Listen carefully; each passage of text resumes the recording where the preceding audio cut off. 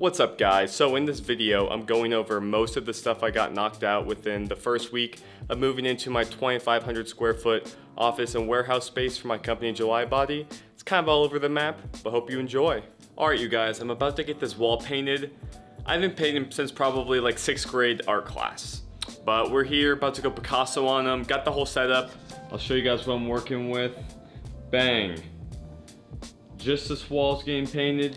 And yeah, let's get right to it. Hopefully I don't fuck this up that bad, but I probably will. Are you guys, it's the next day, but first layer looks really good. Just need to touch up like the sides and the top of it. But yeah, super happy with how this actually turned out. I really like the color and TikTok did not lie. All right, so I got my window decal in today, and so my friends are gonna help me put that up, but here's what's looking like. It's two foot by two foot, it's gonna look really nice. I'll show you guys what that looks like once I actually put it up, as well as I got my gym flooring in today. Um, it was cheap, I got on Amazon, and it, I'll show you guys what that looks like here in a second. All right, so I got the sign up. It looks good. Turned out looking nice.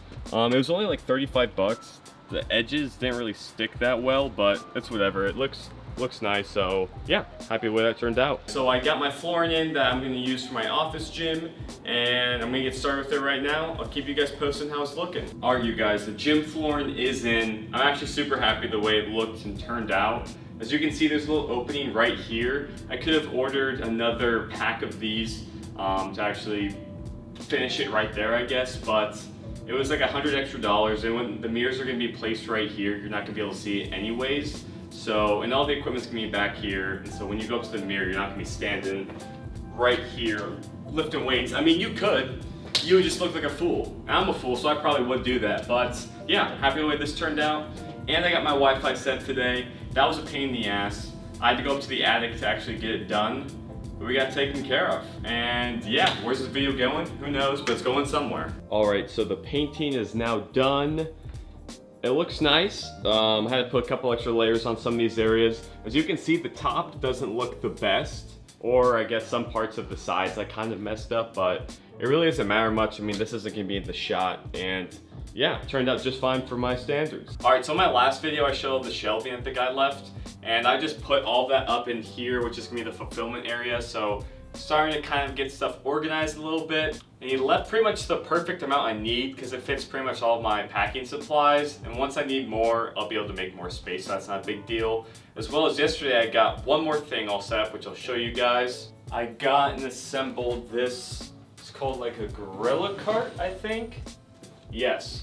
So this is gonna help me take all of my, let's see, it's kind of just like a, a bougie wagon in a sense.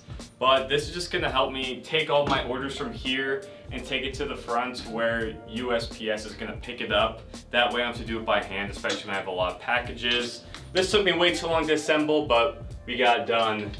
And it's nice, super nice. Can hold up to like 1,200 pounds worth of stuff, so I'm never gonna have issues with that. So got this up and that's nice. All right, so I got a couple of signs in that I'm gonna hang up on this wall. I don't have my desk yet, that got delayed, which which sucks. But um, yeah, I'm gonna hang these up. And I have like a smaller table that I'm gonna kind of station, as well as my chair to get an idea of where these signs should go. That way when my desk um, come in, I can, I'll already have this stuff hung up basically. But here are the signs we're working with. So I got a July Body neon sign, which is super cool. Wasn't that expensive. It was like 110 bucks, which is nice. And then I have a couple other ones coming in. I have this Georgia Tech one.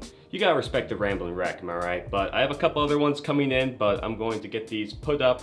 And yeah, we'll see how, I don't know how this process is gonna work. There's a bunch of shit it came with, but we'll, we'll figure that out. All right, so here's what the neon sign actually looks like. I'm gonna need my friend's help to actually install it because I do not have a drill on me, and that's what it needs. It also has a remote, so I can change and adjust the actual like light settings.